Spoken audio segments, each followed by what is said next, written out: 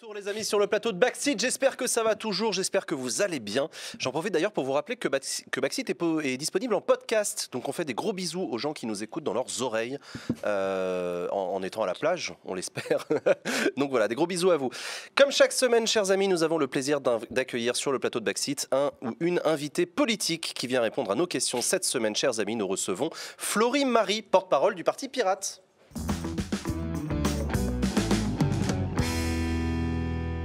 Bonjour. Bonjour. Bonjour Florie, comment vas-tu? Ça va. Euh, Je vais te tutoyer, Ouais. euh, parce qu'en fait on se tutoie. Alors c'est comme la dernière fois, je me pose la question à chaque fois, est-ce qu'il faut que je tutoie, que je vous vois mes invités politiques?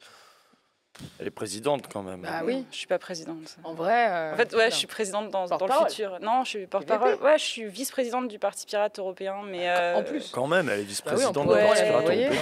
Non. Mais moi je peux, je peux la vous voyer, mais je Non, peux vous vous mais Madame je, Marie. Je, hein. je vais pas. Enfin, moi, je vais pas te vous voyer de toute façon, ni toi. Et euh, je Ah, ça, pas ce serait drôle. Ouais. Qu'est-ce qu'on fait? Ouais, non, je sais pas. Honnêtement, mais, ouais, mais en même temps, tu vois, genre, moi, il y en avait pas mal aussi que je tutoie d'habitude, je les ai vous voyez pour l'exercice. Bah ouais, pareil. Et du coup, ça crée un peu un déséquilibre. Ah, tu crois? Ouais. Je sais pas. Ça va être que, est-ce que vous pouvez me vous voyez, s'il vous plaît Je sais pas, je sais pas ce que vous en pensez, On le n'a chat. pas non, mais- élevé les cochons. Bah, on, on se dit Osef, quoi. On se dit Osef, on va se tutoyer. Ça marche. arrange le plus. Et- On essaiera de tutoyer Xavier Bertrand aussi quand on l'aura. Xav, bah Xav, on, voilà, on lui dira. Non, mais non, écoutez, j'en sais, écoutez, j'en sais rien. Vous savez quoi, Bah, on c'est s'en branle. On va, on va tutoyer.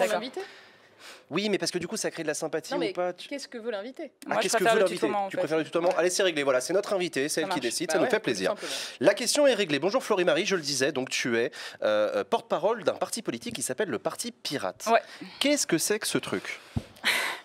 Alors, le Parti Pirate, c'est un parti qui a été créé en 2006 en Suède euh, par euh, du coup bah, des, des personnes qui militaient euh, pour euh, Des pirates. ouais, enfin ouais, des pirates en vrai. Des personnes qui militaient pour le, le libre partage de la culture et des connaissances sur Internet, donc autour de The Pirate Bay en fait, euh, 2006, euh, cette époque-là, et qui est arrivé. en fait, oui, The Pirate Bay, on disait oui, ceux qui veulent partager la culture, c'est des pirates. puis on parlait de piratage, et donc du coup, on a dit, enfin, nos créateurs ont dit, euh, bon, bah, puisqu'on nous appelle les pirates, on va créer le parti pirate. Donc ça vient de là, c'est une réappropriation d'un mot péjoratif, euh, Ouais. une revendication de ok, bah c'est une... ok d'accord, ok je comprends. Ouais, c'est un genre de boîte échangiste de fichiers MP3 ou euh, Tu, Euh, connais, tu connais pas The Pirate Bay? Je déconne. Je de sais pas si blague. je dois expliquer ce que c'est, mais si Ah, je devais tu, l'expliquer, tu peux expliquer ouais, parce que tout le monde n'était pas né en 2006. donc Si, vas-y. c'est vrai. Ouais. Euh, c'était un système de, enfin c'était un annuaire de liens euh, torrent, euh, en fait, euh, de films euh, et de musique et de jeux vidéo et de tout un tas de trucs, euh, et euh, qui a été euh, euh, très très peu apprécié par euh, les autorités euh, suédoises euh, et en fait les autorités de tout un tas de pays, parce que c'était pas que en Suède, hein, c'était international, bien sûr. Les ayants droit aussi. Et Ouais, les ayants droit, effectivement, et, euh, Et et- Alexandre Astier.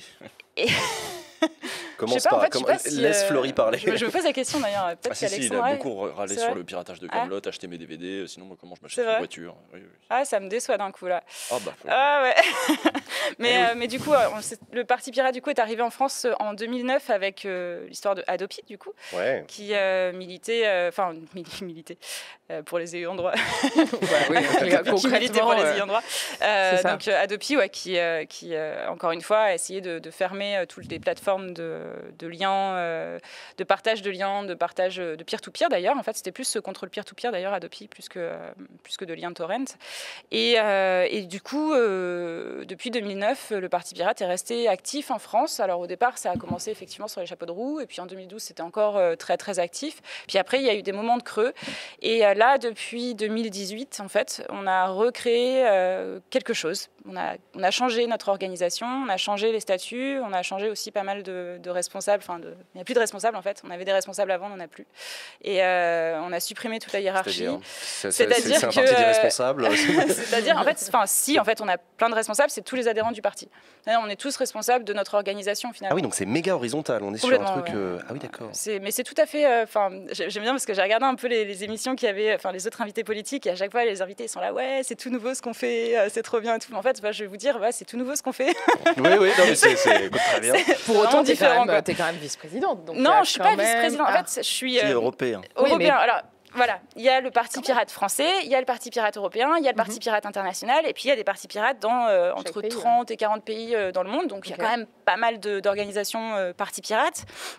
Il se trouve que dans pas mal de pays, on a cette organisation horizontale qu'on a adoptée en France, de plus en plus qui se développe. Et puis au niveau international, au niveau européen, on n'a pas encore, euh, on n'a pas encore sauté le pas. C'est en cours, on y travaille d'ailleurs. Euh, Là, en ce moment, on va ouvrir la réforme euh, au niveau international. C'est les Français qui vont être à l'origine de ça.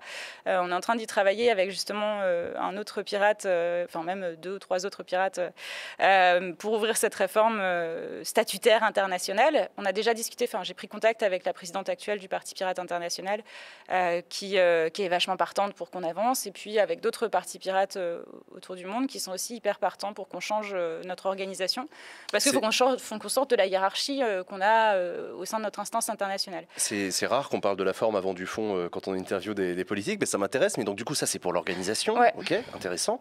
Mais vous, vous défendez quoi, le Parti Pirate? C'est quoi votre identité politique? Alors, nous, on défend. Alors, on a trois mots d'ordre c'est liberté, partage et démocratie. Enfin, dans le- dans- Ça, c'est des très jolis mots, d'accord, mais ça veut dire quoi? Euh, ça veut dire que euh, on défend la liberté globalement, les libertés individuelles, donc euh, la liberté, le droit à mourir dans la dignité, par exemple, liberté de consommer des drogues aussi. donc on est pour la légalisation du cannabis, par exemple aussi. Le partage, donc bah, évidemment, partage de la culture, partage des connaissances. Donc on est plutôt défavorable au système des ayants droit, tout en étant favorable à la rémunération des artistes. Donc il faut trouver un juste milieu qu'on essaye justement de, de trouver. Et, et, euh, et liberté, Là- là, partage, par démocratie, démocratie du coup. Euh, bah, vous en avez parlé tout à l'heure, démocratie délégative, Enfin, Démocratie liquide, ce que vous liquide. appelez liquide, ouais. Ah, démocratie alors, délégative. On va ouais. faire une parenthèse. Tu peux nous expliquer ce que c'est que cette Ouais. démocratie euh, liquide délibérative, comme tu l'appelles Euh, délégative. Délégative. Délégative. Démocratie libé- délibérative, ce serait un peu un pléonasme. C'est un peu comme démocratie, euh, d'ailleurs, euh, démocratie, euh, comment ils disent, participative. La participation Ouais, ouais, participative. démocratie,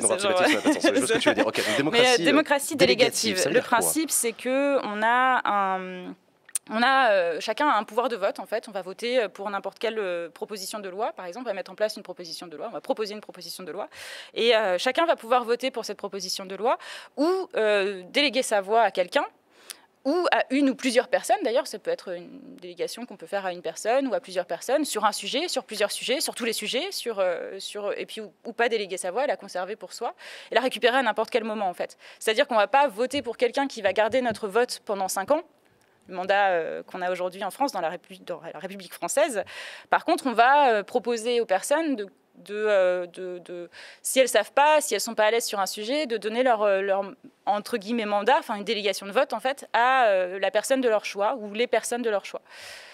On l'a appliqué nous en interne au sein du Parti Pirate depuis 2018. C'est pour ça que je dis on a changé euh, nos Ouais, règles ouais. internes. On a vraiment appliqué ce qu'on veut expérimenter nous, ce qu'on veut défendre en fait. C'est-à-dire que vous changez de mandat en fonction des sujets dont vous parlez, en fonction du moment de l'année? En fait, euh, en fonction des humeurs, en fonction des, des affinités, en fonction de ce que les gens. Mais euh, au sein d'une instance type euh, une assemblée nationale, un parlement Ouais, c'est ça. Ouais. Nous, au sein de notre assemblée permanente euh, au Parti Pirate, mais au sein de l'assemblée, enfin au sein de, enfin, au sein de l'assemblée- de l'ensemble des personnes qui votent finalement, donc euh, l'ensemble des électeurs, en fait. Donc ça, c'est un truc que vous, que vous impliquez en interne, comme tu le disais, mais c'est un truc que vous souhaitez mettre en place aussi, c'est un modèle que vous promouvez, par exemple, pour un pays comme la France? On y travaille, enfin on y réfléchit en fait. On- nous, on est en train d'expérimenter. On n'a pas intégré ça encore dans notre programme. On a intégré quelques dispositions qui permettraient de changer les règles parce que, euh, bah voilà, ça c'est le Oh. troisième mot, c'est la démocratie. Et en France, on a un vrai problème euh, de- de- d'application de, la démocratie. En l'occurrence, euh, la République actuelle, elle n'est pas terrible. Euh, Enfin, la Constitution actuelle n'est pas terrible. Donc, euh, il y a des choses à changer, il y a des choses à, à- à améliorer, peut-être. En tout cas, il y a des choses à clairement euh, jeter à la poubelle. Euh, et en l'occurrence, euh, par exemple, élire des gens au, jugement, ma- euh, au scrutin majoritaire, enfin, jugement majoritaire, on peut y revenir, on l'applique aussi en interne en fait. Euh, mais euh, le scrutin majoritaire uninominal à deux tours, qu'on applique pour la présidentielle, pour les, euh, Législatives. les législatives, le binominal pour les départementales, ça n'a aucun sens. La prime majoritaire, ça n'a aucun sens. Et on applique ça dans notre pays, on applique des règles qui sont appliquées dans d'autres pays qui sont beaucoup moins euh, démocratiques, entre guillemets, que la France. Usul avait une question pour toi, Usul. Ouais, liberté, partage, démocratie, hein, c'est ça? Ouais. Donc, euh, si j'essaie de déduire quelle pourrait être votre ligne ou la ligne des gens qui se retrouvent dans ces valeurs pour, par exemple, la crise sanitaire. Partage, on fait la levée des brevets sur les vaccins. Ouais. Liberté, on n'impose pas la vaccination. Démocratie, on en parle. En tout cas, c'est pas les décisions sont pas prises tout en haut. Je, si je comprends bien, vous géreriez comme ça? Alors non. Euh, les libertés, euh, les libertés, c'est pas seulement sa liberté à soi en fait, c'est Mhm. les libertés de tout le monde. Tant historiquement, le, le- le Parti pirate, il y a eu des libertariens qui sont venus aussi. euh, Il y a eu des influences libertariennes au Parti pirate. Il y a eu, euh, Mhm. il y en a toujours d'ailleurs dans certains euh, partis pirates à travers le monde, bien sûr. Après, euh, on parle pas forcément, euh, déjà, on parle pas forcément de la même idéologie en France ou euh, à l'étranger, parce qu'on parle de libertari- libertarianisme ou, euh, ou libertaire. En France, on va en parler d'une certaine façon, à l'étranger, on va parler c'est très euh, différent, ouais. d'une autre c'est deux façon. choses différentes, oui, les libertaires et les donc, libertariens. Oui, déjà de base. Et puis, euh, et puis euh, le libertaire français, ça va pas être le même que le libertaire américain. euh, euh, donc, ça va être un peu différent. Maintenant, liberté, c'est pas. euh, voilà, tu parles du vaccin. Moi, je vais parler euh, plus des armes, parce qu'au niveau du vaccin, on est plutôt anti, on est plutôt euh, pro-vax. Je vais dire une connerie. Euh, on est plutôt pro-vax. Vous êtes plutôt Euh, pro-vax, après, on n'a pas pris de décision parce qu'on estime que c'est pas un parti politique de prendre ce genre de décision, de dire euh, oui, on est d'accord ou on n'est pas d'accord avec le fait de se vacciner. Ah bah si. Ça, bah, si. Bah non. en fait, c'est pas nous, une partis politiques, qui ne sommes pas en façon de gouverner, en, capacité de, de gouverner, Ah, ni c'est même. Enfin, c'est à chacun d'entre nous en fait de prendre la décision Moi, aussi euh, collectivement, sur la Ouais, base d'un consensus scientifique aussi. Ah, Il y, a un euh, débat là sur le plateau, mais ok, intéressant. Mais ouais, enfin, nous, on estime en fait en tant que parti politique que on n'a pas à prendre des décisions déjà euh, Ah, sur tout et n'importe quoi. Émettre une opinion. Émettre une opinion, oui, mais ça, c'est c'est pas prendre une décision, en fait. Et on n'a pas, nous, euh, on n'a pas pris encore le temps du débat sur la question du vaccin. Maintenant, ça ne nous empêche pas d'être en interne plutôt tous d'accord pour, être, euh, pour se vacciner, parce qu'on estime que les libertés, c'est pas simplement euh, bah, je suis libre ou pas de me vacciner ou pas. C'est euh, de euh, considérer que tout le monde est libre de vivre enfin, de vivre en bonne santé, en fait, et que, euh, en l'occurrence, pour qu'on puisse tous vivre en bonne santé, le mieux, ça reste quand même de se vacciner. Donc, euh, on est plutôt sur cette ligne-là. Maintenant, le Parti pirate n'a pas pris position à proprement parler, ni sur le vaccin, ni sur le pass sanitaire. C'est Maintenant, ça qu'on essaie de comprendre. Ouais, bon. sur le pass sanitaire, on est en train d'en débattre en ce moment. On a un débat qui a été ouvert sur le forum du Parti pirate, parce qu'on débat euh, en asynchrone euh, tous ensemble. Et euh, sur le pass sanitaire, on est en train d'en discuter. Et justement, la question se pose de jusqu'à quel niveau est-ce qu'on contrôle.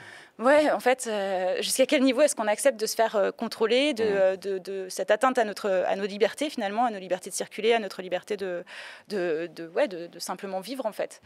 Donc, oui, la question se pose. C'est pas si évident. Tu l'as dit tout à l'heure, vous êtes né au moment de, au moment de Adopi, en Mm. tout cas en France.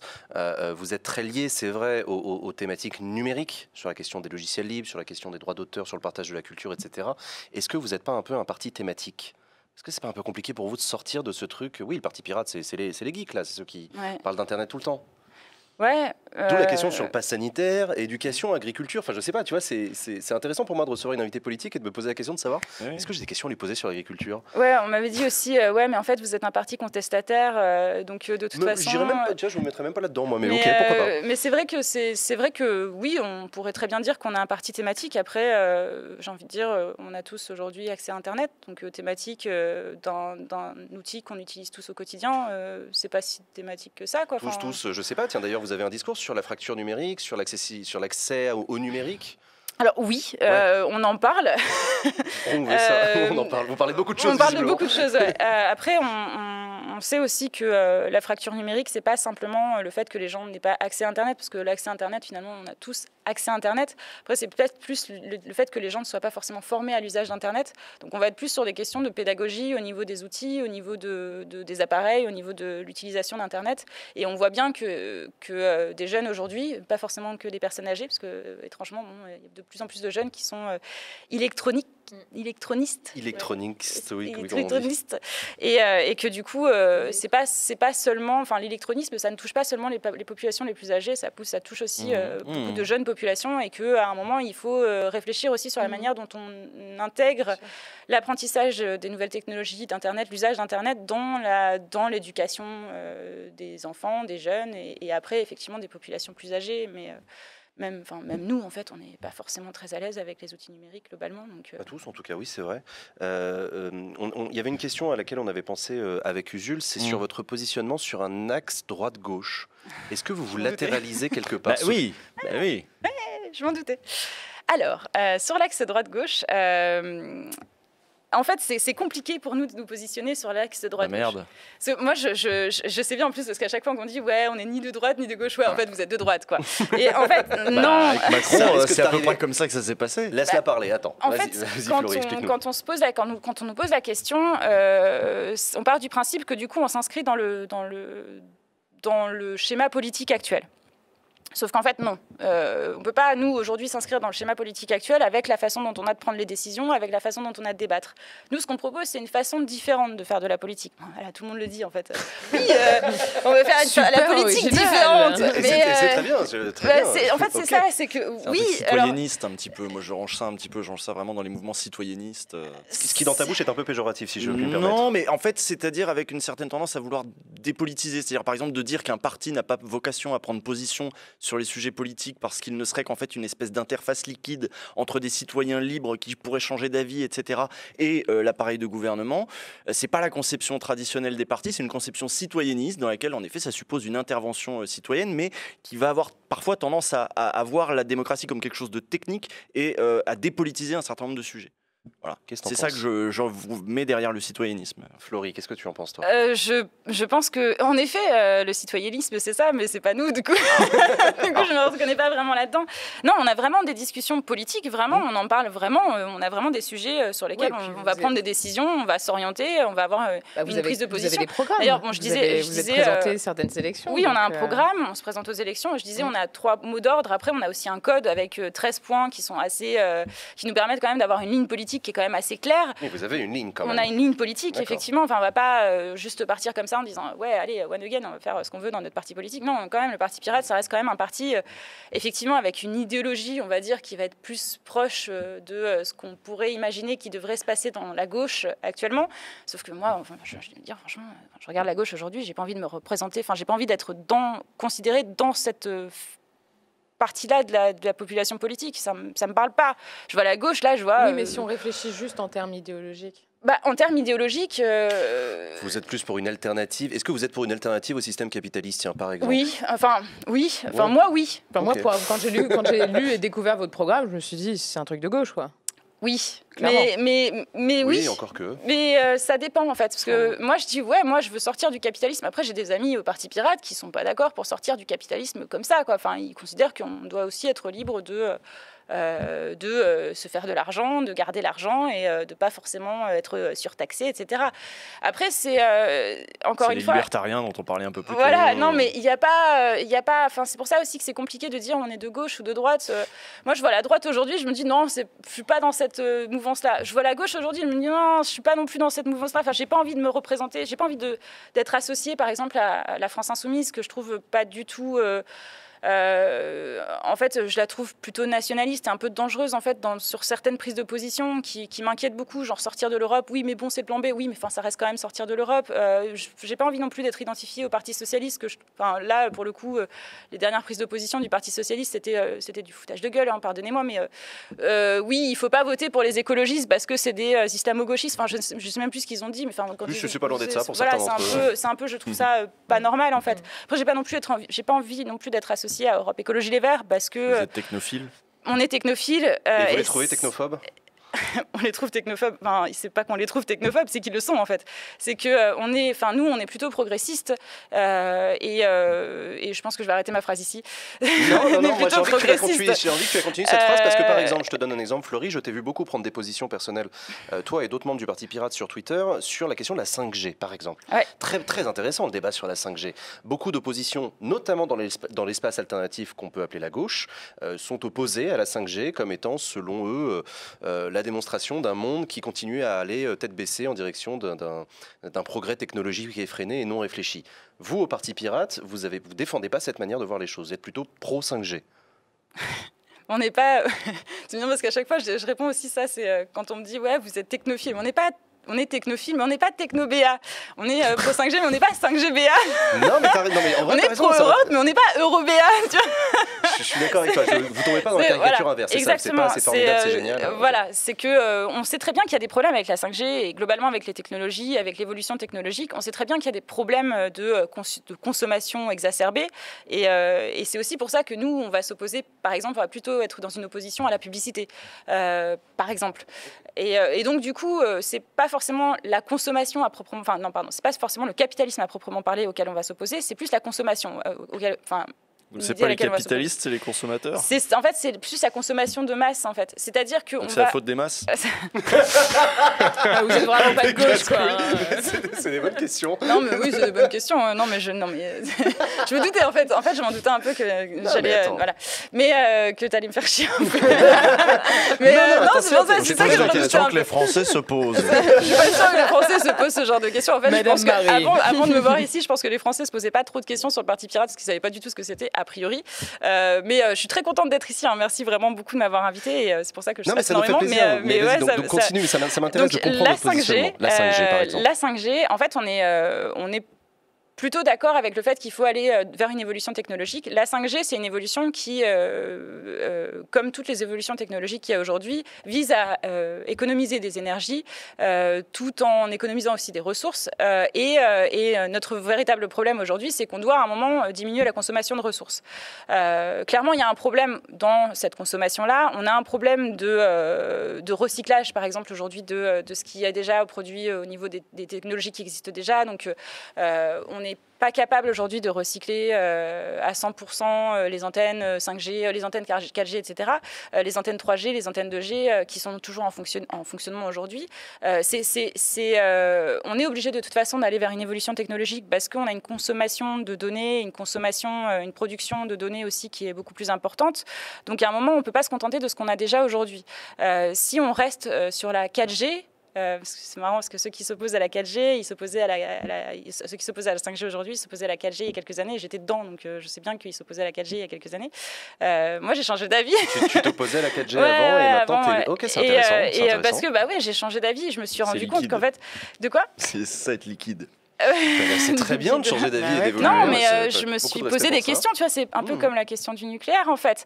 Euh, et euh, je me suis posé des questions, j'y ai réfléchi et je me suis dit, mais c'est pourquoi est-ce qu'on s'oppose à la 4G Pourquoi est-ce qu'aujourd'hui, il y a des gens qui s'opposent à la 5G il s'oppose au progrès, à la technologie, à l'évolution de la technologie, euh, en disant oui, on va euh, augmenter notre consommation de ressources, on va augmenter notre consommation de données. Sauf qu'en fait, si on évolue euh, au niveau technologique, c'est aussi pour réduire l'impact qu'on va avoir en consommant justement des données et, et en utilisant Internet plus on est nombreux à utiliser Internet, plus on va avoir besoin d'évoluer au niveau de notre technologie, d'évoluer, de faire évoluer notre technologie pour pouvoir couvrir les besoins de chacun.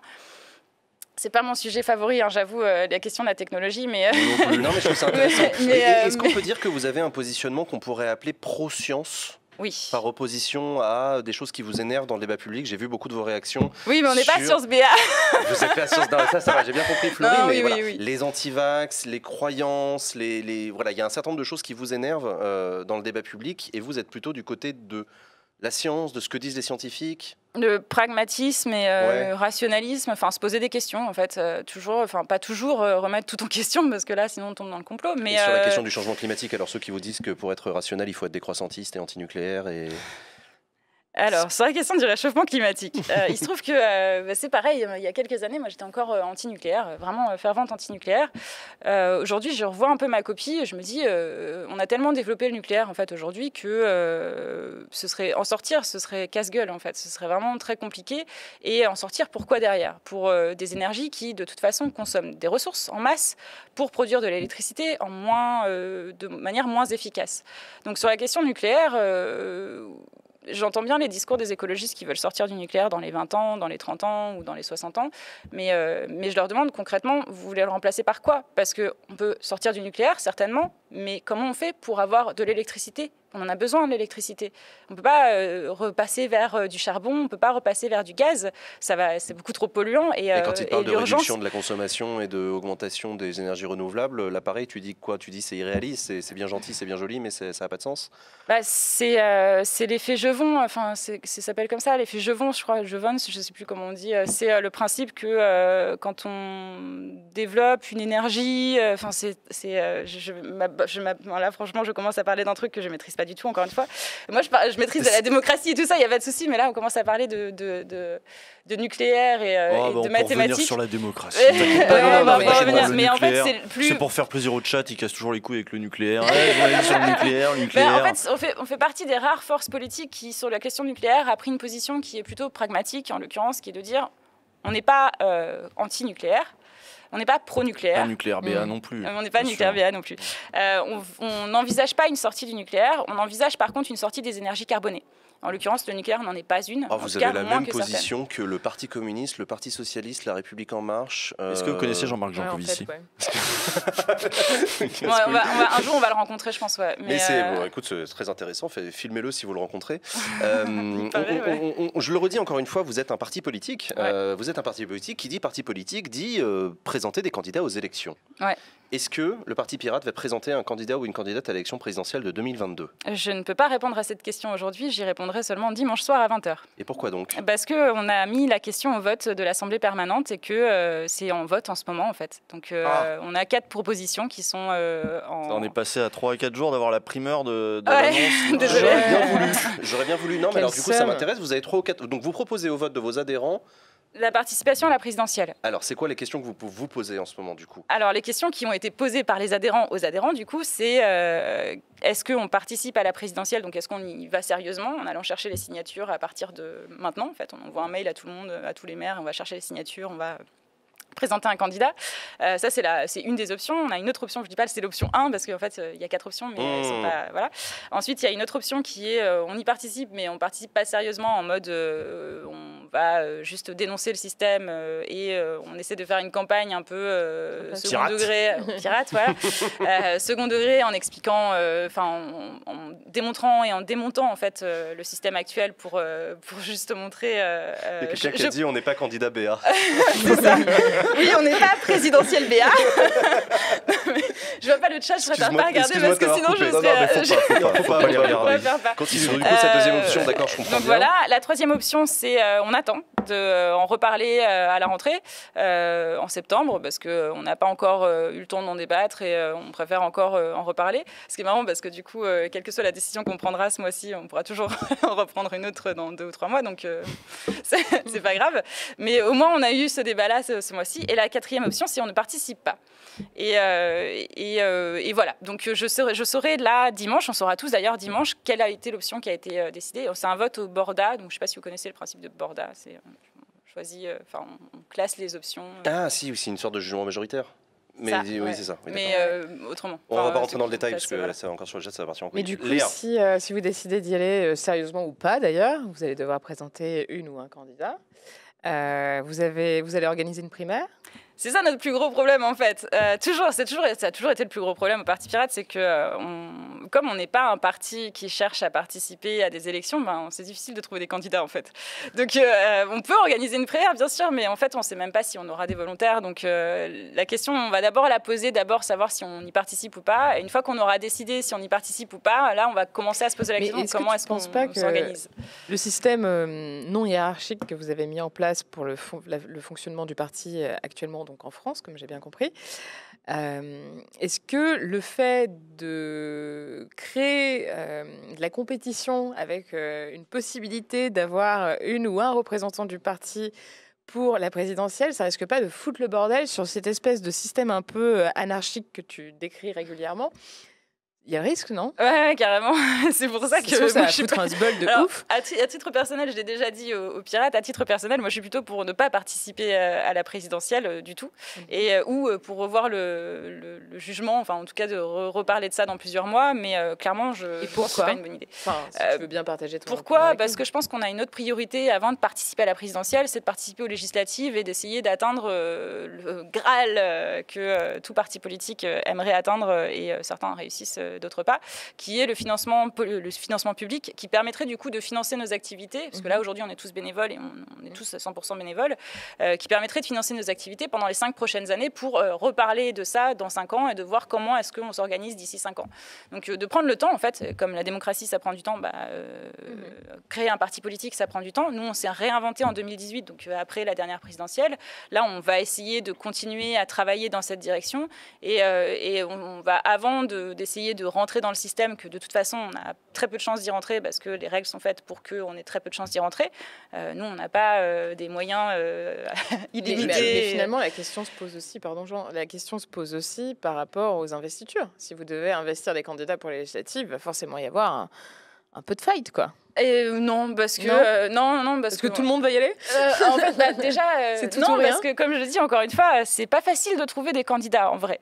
ensuite, sur les législatives, les règles, elles sont assez à la fois compliquées pour des petits partis politiques et en même temps assez soft. C'est on peut se présenter où on veut.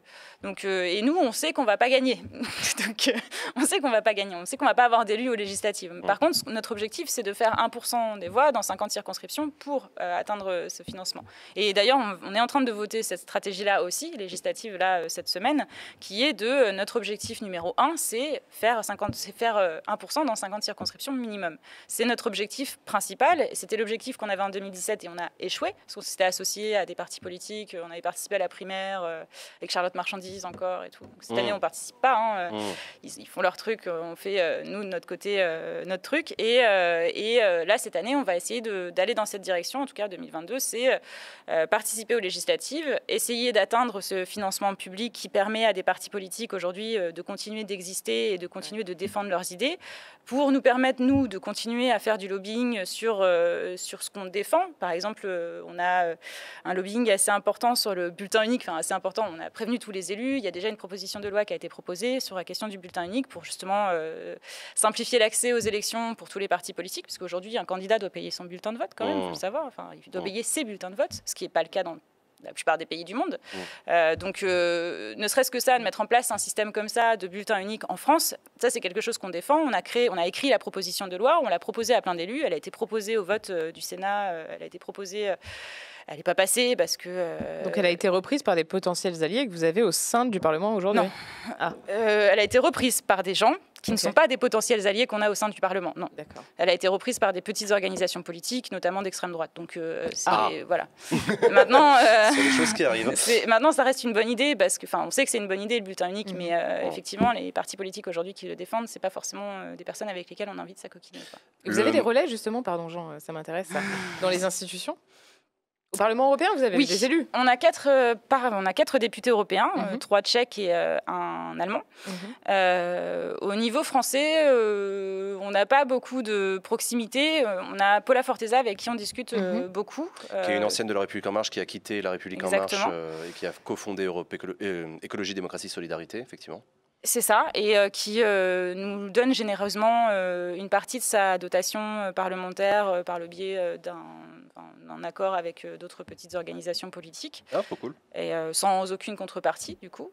Big up, Paula. Voilà. Big up. Merci, Paula. Non, je sais pas, vous ça. Euh, ouais, non, bah, c'est, enfin, nous, on n'a aucun secret sur notre, sur notre financement, donc ça fait partie des choses qui ont été décidées, qui ont été décidées en assemblée permanente de manière transparente au sein de notre organisation. Donc, donc oui, on a un peu d'argent grâce à Paula. merci, Paula. mais on n'a pas, à vrai dire, en fait, on n'a pas de proximité politique avec qui que ce soit d'autre en France, au niveau du Parlement, au niveau du Sénat non plus. Euh, par contre, euh, ouais, au niveau européen. au niveau du gouvernement. Hein. Au niveau du gouvernement non plus. Il n'y a pas grand monde qui vous écoute au niveau du gouvernement. Moi, il y a un truc que je trouve intéressant, c'est que tu remarqueras, comme moi, que, que, la politique est très personnifiée. Probablement à cause d'ailleurs de l'élection présidentielle, où c'est très une personnalité médiatique, charismatique, ce qu'on veut, qui, porte, qui emporte avec elle un parti, une organisation. Je pense à François Asselineau avec l'UPR, je pense à, à d'autres d'ailleurs leaders à droite de leur petit parti ou plus grand, peu importe. À gauche aussi, Jean-Luc Mélenchon avec sa France Insoumise depuis 2000 etc. Est-ce que vous, votre, votre principal défaut, c'est pas malheureusement ce manque d'incarnation? Depuis tout à l'heure, tu dis nous, tu parles d'un collectif, ce que je trouve très noble, mais est-ce qu'en 2021, ça marche toujours aussi bien?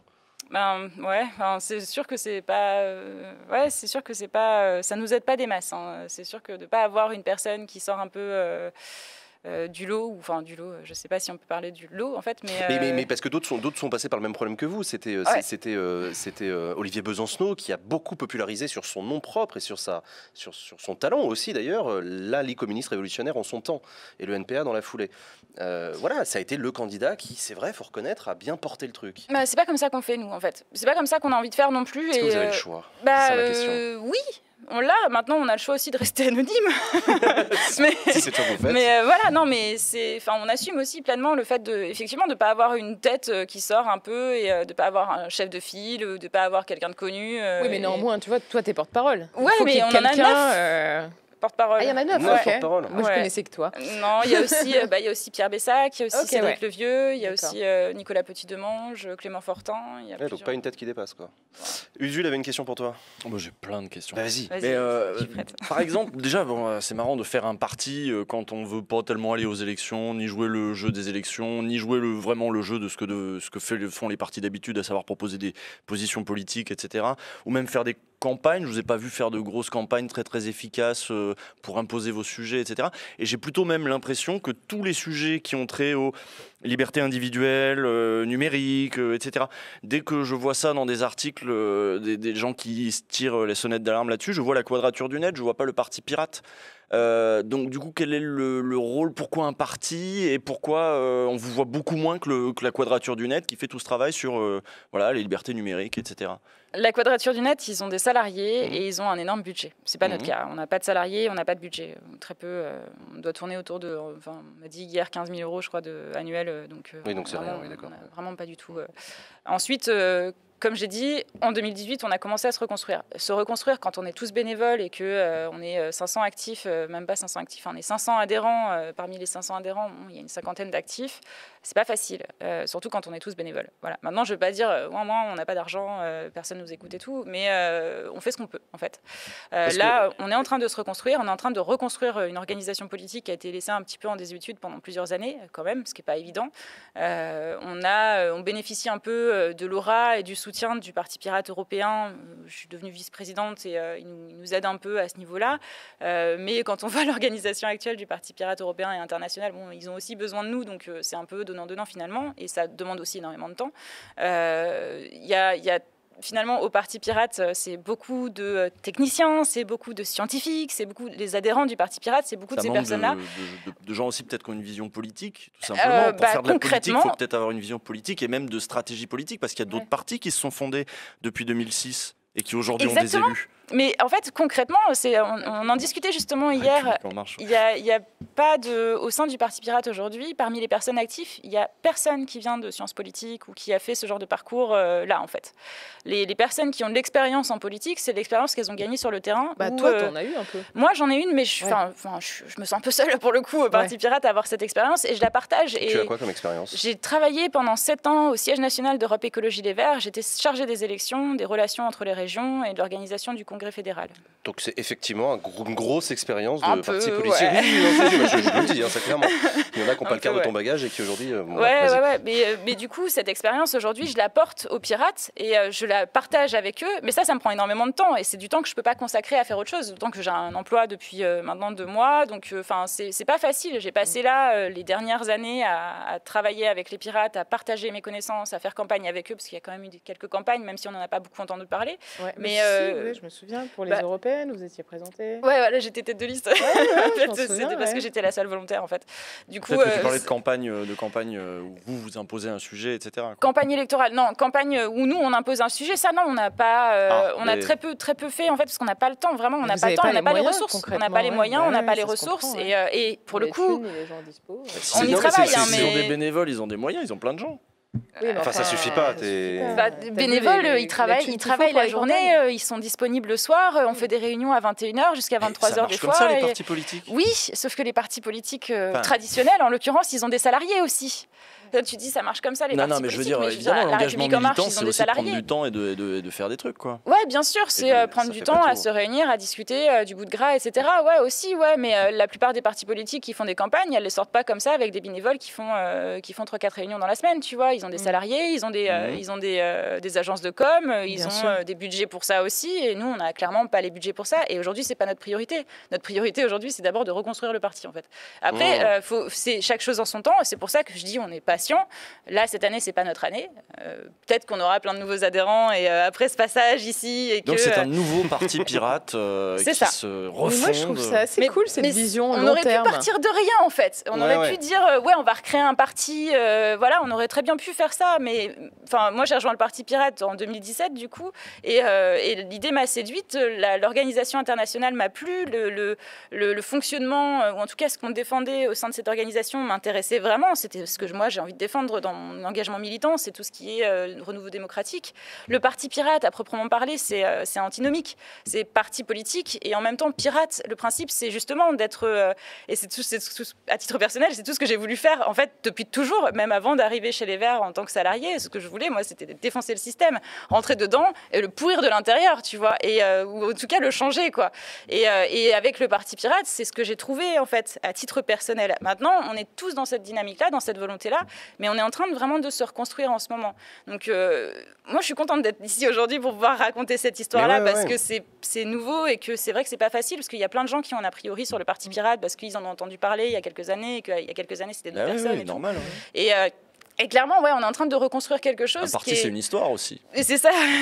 Et Mais- pas toujours une bonne histoire d'ailleurs. Mais non, mais c'est vrai, t'as non, raison. mais c'est vrai, oui, je suis, mais je suis d'accord. oui, oui. Mais, euh, mais du coup, cette histoire-là, on, on essaye de la. Enfin, on veut pas l'oublier, bien sûr, parce qu'on on apprend de l'histoire aussi, hein, toujours. Mais euh, on essaye quand même de, de- de partir sur des bases saines. Et là, on est reparti sur des bases saines et euh, de, de reconstruire quelque chose de nouveau, de différent. Et, Pourquoi pas euh, changer le nom du coup?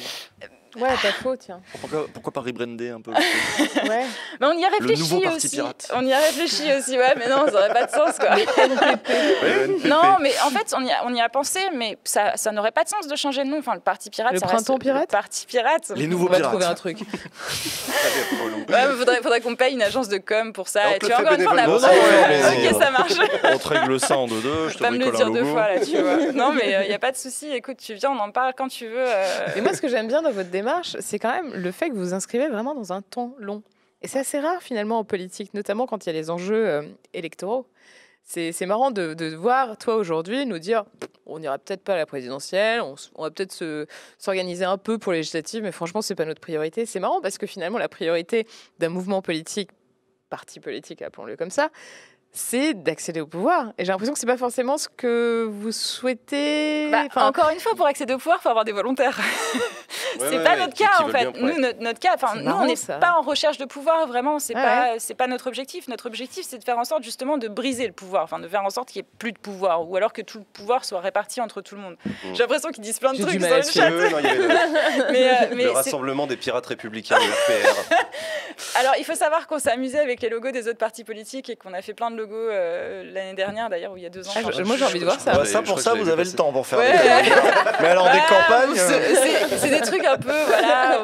On se, enfin, ouais. Il y a des moments aussi où on juste, euh, enfin, on a envoyé une pelle à Geoffrin aussi, mais ça c'était marrant aussi. Mais, euh, Mais non, mais on en racontera un, autre jour. Moi, je trouve, je trouve- je trouve ça extrêmement intéressant, effectivement, cette, cette- cette volonté que vous avez d'être un parti politique différent. Comment est-ce que vous, comment est-ce que vous vivez collectivement, et même toi personnellement, lorsque vous entendez des personnes mobilisées dans des mouvements comme le mouvement des Gilets jaunes qui disent Nous, on n'aime pas les partis, on est contre les partis, euh, parfois pour des raisons qui sont proches des vôtres qui, voilà, vous, vous, trouvez, vous, vous dites c'est injuste. Ouais. Non, on n'est pas no- not all party. C'est, euh, ouais, clairement, mais euh, ouais, enfin non. Pas tous les partis. Moi, je suis pour la suppression de tous les partis politiques en vrai, mais euh, c'est, je trouve le système Ouais, pour partisan en France de parti, c'est compliqué. C'est- Mais non, mais je- enfin, je sais pas si vous avez lu euh, Note pour la suppression des partis politiques euh, de- de Simone Veil. non, je- Très intéressant. Ah, oui. Très intéressant. Euh, après, il y a un bouquin aussi de André Breton qui était aussi euh, très intéressant sur la suppression des partis politiques aussi. Euh, et, euh, et pour le coup, euh, Parti unique aussi, c'est pas mal. Je- je- moi, je, à titre bien, personnel, encore une fois, euh, je suis plutôt favorable à la suppression du système partisan euh, tel que défini dans la République, dans la Constitution actuelle. Euh, Ce qui est cohérent avec la démocratie liquide. euh, Exactement. Et, euh, et en fait, pour, hein, non, non, non le, le- le principe justement de démocratie euh, délégative, je préfère parler de délégative parce que liquide, bon, pirate, Rome, tout ça. connu, Mais le- oui, c'est le terme le plus connu, c'est le terme anglais, en fait, c'est un Mhm. anglicisme un peu, du coup, c'est pour ça que je préfère parler de délégatif, mais euh, pourquoi pas liquide si vous voulez. Euh, mais le principe, en fait, de ce système démocratique, c'est, enfin, de la démocratie même globalement, c'est que euh, tout le monde puisse participer. Donc, euh, les partis politiques aujourd'hui, c'est des écuries à élus. Concrètement, euh, leur objectif, c'est de faire élire des gens, quoi. ouais, Euh, c'est- parce que leur rôle. Mais parce venir, que c'est leur rôle dans le système actuel. C'est pas leur seul rôle. Oui, je vois ce que tu veux Mais c'est pas leur seul rôle. Enfin, en tout cas, nous, c'est pas Mm. le rôle qu'on a choisi. C'est-à-dire que nous, notre objectif à nous, en tant que parti politique, c'est de porter des idées et de faire en sorte que les gens puissent s'exprimer. Mais c'est le rôle aussi des, des autres partis. Mais c'est pas ce qu'ils font. Mais si. Oh, quand même. Moi, je suis désolée, mais euh, tu- Par tu- exemple, on, non. on- on peut prendre euh, le- la 5G ou le pass sanitaire. Voilà, il y a des colères parfois dans les dans les dans des les sujets qui s'expriment dans les populations. et euh, pour le coup, Oui. euh, enfin moi je veux bien qu'on en parle, mais c'est Non, pas non, des mais je sujets crois- très non, je intéressants. c'était pour te dire aussi le rôle euh, des partis, c'est aussi de politiser euh, des colères et de fournir un cadre, un cadre de pensée, un cadre d'analyse, et aussi de politiser des colères qui parfois euh, flottent un petit peu dans, la- dans les populations comme ça. Euh, j'avais j'avais fait un épisode sur la politiser 5G. des colères en fait. Mais, si. qui- Bah non, Ça, y participe. c'est dire, c'est- la c'est- c'est c'est rôle tous de les faire jours. vivre C'est pas dans- que les partis politiques qui C'est peuvent leur rôle de politiser faire la vivre dans la démocratie des idées en étant sur, sur les plateaux aussi, en, en- en faisant vivre le débat démocratique. Je- Oui. J'ai pas l'impression, je suis désolée, hein, mais j'ai pas l'impression d'un débat démocratique quand j'entends les personnalités politiques parler pendant les campagnes électorales. Franchement, euh, franchement, ça m'intéresse pas. Ce qu'ils disent m'intéresse pas. Ils sont tous en train de défendre leur bout de gras, ils sont tous en train de défendre leur propre candidature, leur tout- propre mandat. tous pourris. Ou leur euh, Et vision, non, pas tous pourris, pourris. dis. Enfin, non, pas tous pourris. En fait, enfin, si, un en peu fait. démago, en fait. C'est, c'est démago, non, en fait, je dirais pas ça. Mais la, la- la politique, ça fait pas rêver. Enfin, la politique actuelle Ça, des partis politiques font pas rêver. Moi, clairement, ça fait longtemps que j'ai plus envie d'aller voter. Je suis pas allée voter aux dernières élections et franchement, franchement, je serais allée voter blanc, il serait passé quoi? Rien. Ça n'aurait rien changé. Mon vote aurait pas été pris en considération. Il se serait rien passé. S'il y avait une majorité de vote blanc, ils n'auraient pas refait l'élection. Aucun intérêt, vraiment aucun intérêt. Ce que je fais aujourd'hui au Parti Pirate, ce qu'on fait collectivement au Parti Pirate, ça m'intéresse vraiment. On est en train de construire quelque chose pour le coup de différent. Et j'ai pas envie encore une fois de faire de la démagogie, de dire comme tous les autres qui sont venus ici en disant ouais ce qu'on fait c'est vachement différent. Non, on est vraiment en train de construire quelque chose pour moi que je trouve qui est vraiment différent. Euh, on est en train de construire une autre façon de faire de la politique, de prendre des décisions collectivement. On apprend aussi nous ensemble avec ce système-là qu'on a mis en place comment est-ce qu'on pourrait prendre des décisions d'une autre façon, euh, ce que d'autres partis politiques, euh, enfin ils ne font pas. Regarde, on va parler de la France insoumise. C'est quoi la France insoumise Ils n'ont pas de statut. C'est-à-dire qu'aujourd'hui, les gens qui sont adhérents, Ah soi-disant, à la, France mouvement, Insou- oui. insoumise, ouais, c'est un Mais si, mouvement. ils ont, ils ont une asso- si, si, ils ont, ils ont, ils ont une structure Oui, juridique. ils ont une structure juridique Une association de qui, euh, financement. euh. ouais, ils ont une association de financement, mais ils n'ont pas de statut à proprement parler de la France insoumise. Tu n'adhères pas à la France insoumise. Il n'y a pas d'adhésion à la France insoumise. ouais, je vois ce que tu Et oui, sauf que du coup, quand tu vas sur leur site internet, tu regardes, oui, alors il y a des pôles de réflexion, de machin. Qui prend les décisions à la fin? Tu sais pas. Il s'appelle, si moi je le connais, il s'appelle Jean-Luc. Ouais.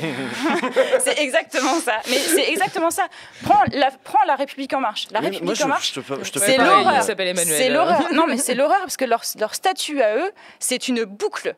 C'est-à-dire que en fait, pour rentrer dedans, il faut être nommé par quelqu'un, je ne sais pas qui, et euh, c'est euh, la personne qui est nommée par quelqu'un à la direction de la République en marche qui décide de qui va être dans toutes les instances de l'organisation. C'est une boucle, c'est un cercle en fait.